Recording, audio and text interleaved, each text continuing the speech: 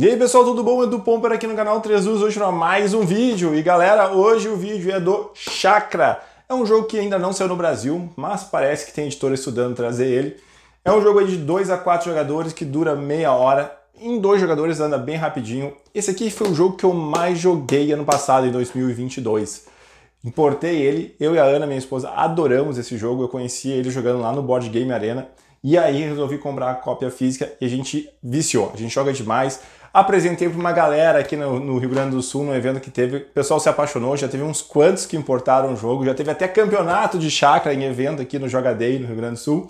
E hoje eu vou fazer um vídeo de review, vou explicar ali para vocês a ideia geral do jogo, né? Depois vai ter vídeo de regras que também já está gravado.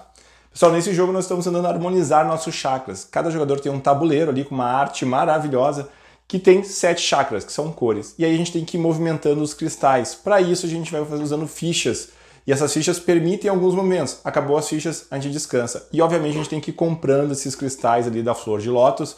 E aí tem algumas regrinhas de compra que eu vou explicar aqui no vídeo de review. Então esse é aquele vídeo para tu conhecer o jogo, ter uma ideia, ver como é que ele funciona, ver se tu gosta ou não. E em breve vai ter aquele videozinho de regras. E vamos torcer que ele venha logo pro Brasil. Vamos lá conhecer então o Chakra.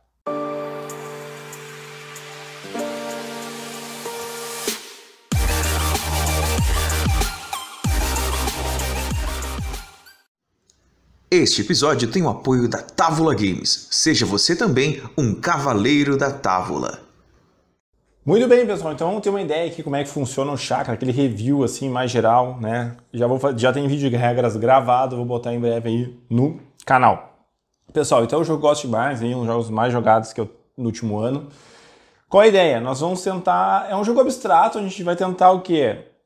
Organizar esses cristais nos chakras corretos, nas suas cores respectivas, tá? Então, é um jogo onde na sua vez o jogador faz só uma ação entre três possíveis e o jogo vai indo até que alguém harmonize cinco chakras e termina a rodada a gente vai para a pontuação. Primeira coisa é falar sobre a pontuação. A pontuação é sorteada no início do jogo, só que os jogadores desconhecem. São essas oito fichinhas, uma fica de fora. Essas fichinhas são numeradas de 1 a 4, duas de cada. Então tu tem oito pontuações, só sete entram em jogo, então tu sabe que uma delas está fora.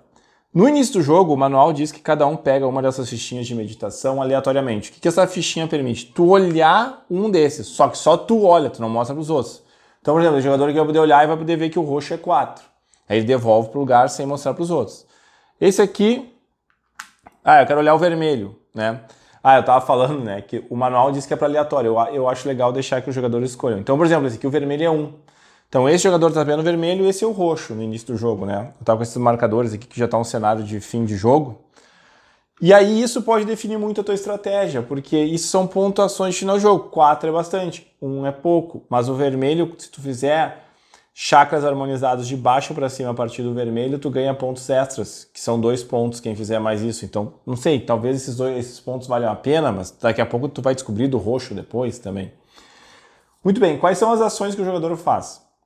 A primeira ação é comprar cristais. Para comprar cristal, tu tem que comprar só um por cor e tu nunca e tem, pode comprar um, dois ou três. Nesse caso aqui, ó, vamos botar assim, vamos deixar assim por enquanto. Aqui, ó, nesse aqui ele não pode comprar os dois azuis escuros. Eles têm que comprar ou um azul escuro, ou ele compra um desse laranja, ou ele pode comprar um azul e um laranja, tá? Se tivesse uma situação assim, aí aqui ele pode escolher. Ele pode comprar um dos três, ele pode comprar uma dupla desses três, ou ele pode comprar até os três que são todos diferentes. Se tiver um preto no lugar que tu tem que comprar sempre da mesma coluna, né? Tu é obrigado a levar o preto.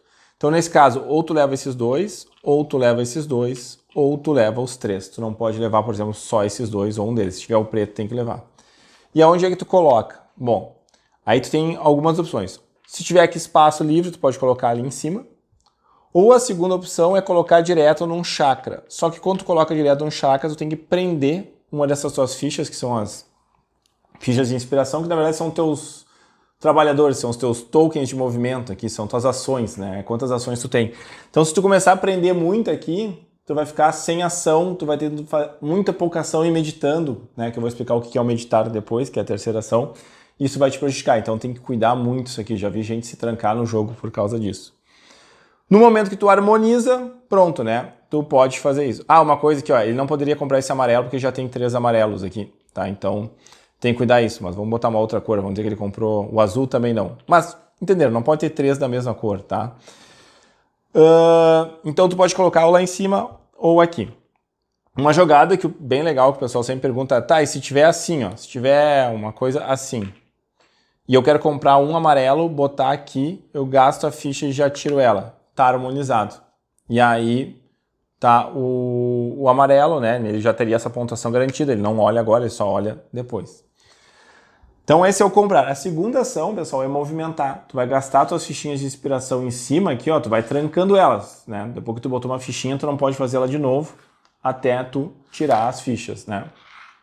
Uh, como é que são esses movimentos? Olha só. Esse aqui tu pode mover um cristal três para baixo. Então é bem fácil de entender. Esse aqui tu mexe três cristais cada um uma vez. Aqui tu mexe dois, um duas vezes e outro uma vez, e a ordem que tu quiser. Aqui tu sobe um duas vezes, aqui tu sobe dois uma vez cada, aqui tu sobe um e desce um cada uma vez, aqui tu sobe ou desce um, e esse aqui é o seguinte, ó, o preto, ele te atrapalha, né? mas se tu trouxer ele aqui para baixo, tu aliviou essa energia, ela valeu um ponto no final do jogo.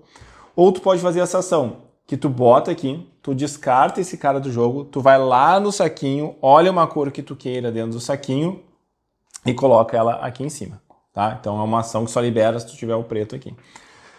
E aí, os movimentos têm que ser possíveis.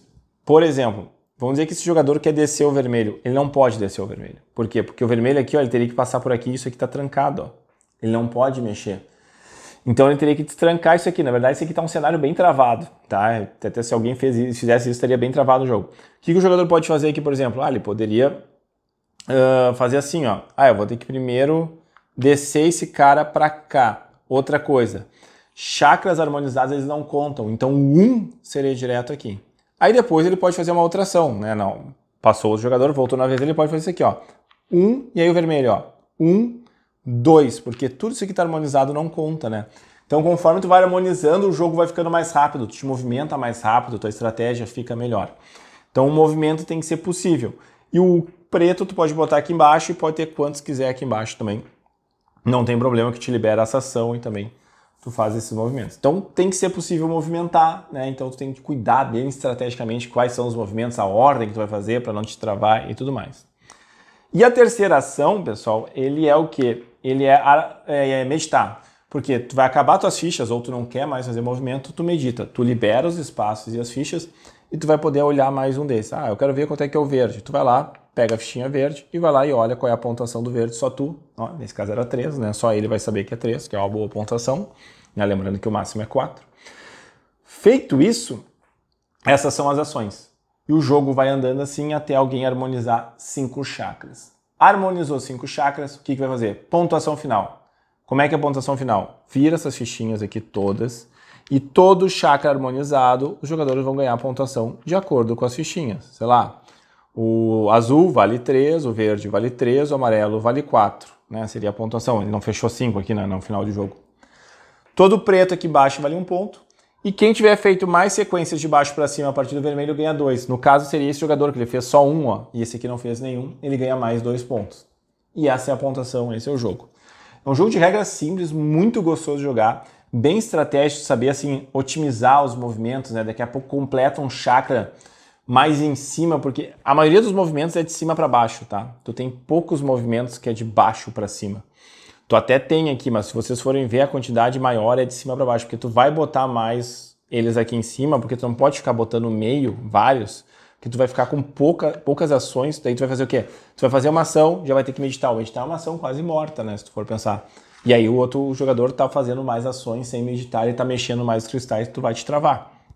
Então tem essa estratégia saber comprar, o momento de comprar, onde colocar, sabe? Às vezes é importante tu tenha algum que tu precisa subir, então daqui a pouco botar um mais para baixo, onde tu pode descer e subir cristais, é bem importante na estratégia também. E aí tu vai ver no fim do jogo, daqui a pouco tu começa a harmonizar ali, tu consegue harmonizar e andar mais rápido. Como acaba em 5, eu já vi, já vi pessoas na última rodada conseguirem harmonizar dois chakras ao mesmo tempo e fecharem em 6. E aí isso aí toca a pontuação lá para cima, que é uma coisa bem difícil de fazer, tá? Bom, é um jogo que eu gosto muito, espero que venha para o Brasil em algum momento. Jogo família, muito gostoso, é muito rápido assim, depois que o pessoal pega, em dois jogadores ali, acho que 15, 20 minutos no máximo a partida, vale muito a pena. Então, pessoal, para quem queria conhecer, saber como é que é o chakra, um pouco da minha opinião, como é que funciona, tá aí esse vídeo. Espero ter gostado. Aquele abraço, até mais.